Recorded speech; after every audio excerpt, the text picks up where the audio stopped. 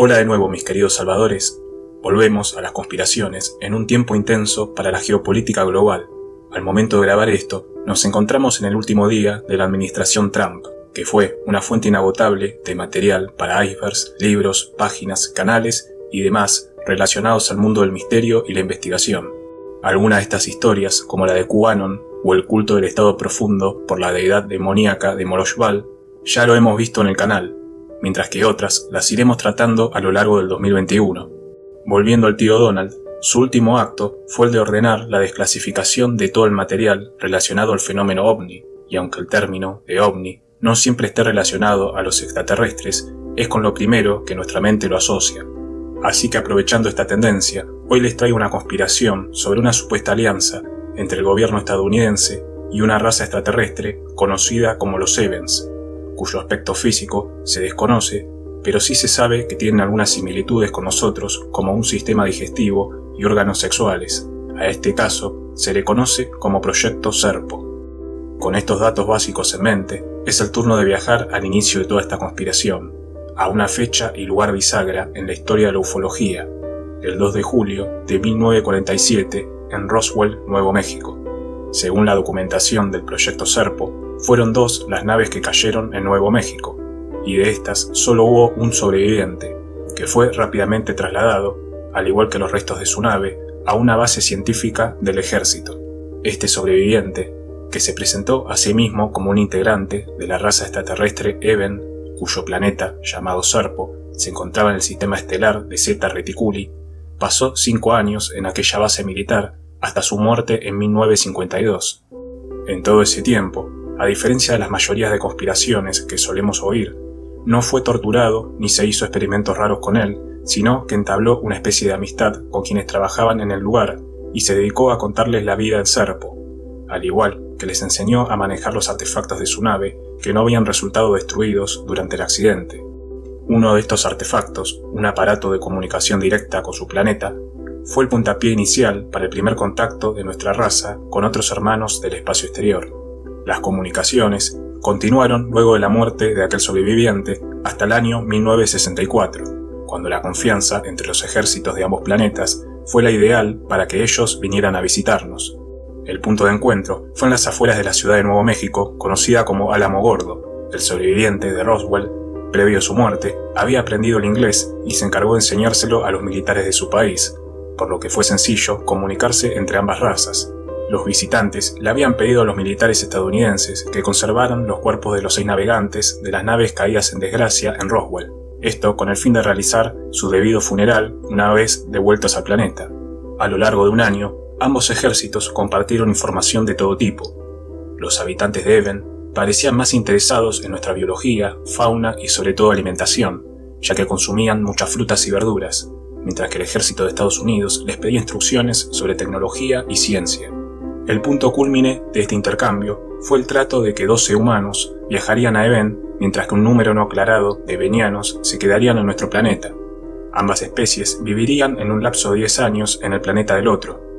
El equipo de los 12 estaba compuesto por 10 hombres y 2 mujeres, quienes realizaron un viaje de 9 meses a lo largo del universo hasta llegar a Serpo. Pese a que Serpo era bastante parecido a la Tierra, este poseía dos soles y una radiación a la que nuestros cuerpos no estaban acostumbrados, por lo que aquellos doce, que se convirtieron en diez por la muerte de dos hombres producto de la radiación, tardaron un par de años en que sus cuerpos se acostumbren a este nuevo hábitat. Otro problema para los viajeros fue el de la alimentación, ya que los sevenianos no mataban a los animales de su planeta, ni tampoco a las plantas, que parecían tener conciencia y forma humanoide, por lo que su alimentación era 100% artificial y si acá en la Tierra podemos tener problemas graves de salud o algo de indigestión al comer mucha comida chatarra o industrial, imaginen una alimentación con productos artificiales que nuestro organismo nunca experimentó. Este problema también lo tuvieron con el agua artificial que fabricaban los semenianos, ya que su planeta carecía de océanos y la mayoría del agua estaba contaminada por la radiación.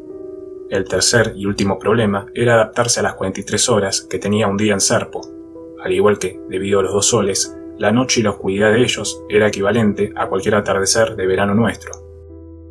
Luego de su periodo de adaptación a las condiciones de Serpo, los diez viajeros comenzaron a recorrer el planeta para documentarse. la mayor parte de este estaba compuesto por montañas y solo una pequeña parte estaba habitada por una gran ciudad rodeada de pequeñas comunidades, ya que la población mundial era de tan solo 650.000 evenianos. Esto se debía a las condiciones climáticas, los problemas con la radiación, al igual que a un alto índice de esterilidad.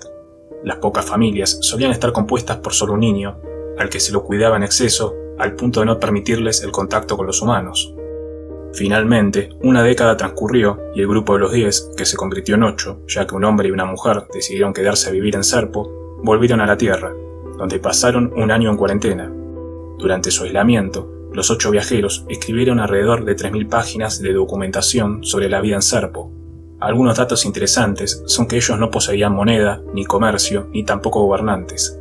Existía una especie de consejo donde los evenianos más aptos, inteligentes y habilidosos mantenían equilibrada la vida en la gran ciudad. Toda necesidad básica, ya sea alimento, ropa e incluso artefactos de entretenimiento, eran otorgados a cada habitante que se lo solicitaba al Consejo. Sería una especie de plan social universal, aunque los evenianos sí trabajaban en empleos similares a los nuestros. Los ocho viajeros recuerdan que uno de los empleos más importantes en el planeta era el de bombero, debido a la gran cantidad de accidentes aéreos que había en la ciudad por desperfectos técnicos de la nave e interferencias con la radiación. Los evenianos también tenían cultura y entretenimiento. El arte, al que mayor importancia le prestaban, era la música, y aunque no tenían televisores o consolas de videojuegos, sí llevaban encima una especie de pequeño aparato celular holográfico donde podían comunicarse entre ellos.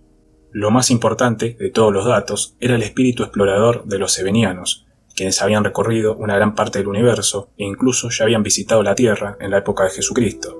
Fue en uno de estos viajes que hicieron contacto con otra raza que resultó ser hostil y que se envolvió en una guerra de casi 100 años entre ambos planetas. Producto de esta guerra, los semenianos se habían hecho un poco más desconfiados y por eso tardaron casi media década en confiar en nosotros.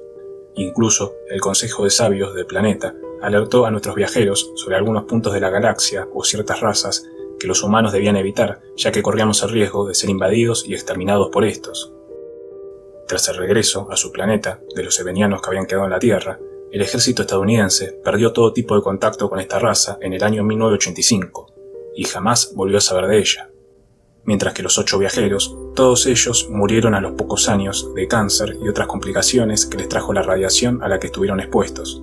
El proyecto Serpo se mantuvo en secreto hasta el año 2005, cuando un alto mando de la Agencia de Inteligencia de la Defensa estadounidense filtró toda la documentación a un selecto grupo de ufólogos conocidos a nivel mundial, entre ellos el sargento Richard Doty, quien pasó más de 20 años en la Fuerza Aérea de Estados Unidos y quien fue uno de los impulsores de la conspiración del Majestic 12, otra historia muy famosa que trataremos en el futuro.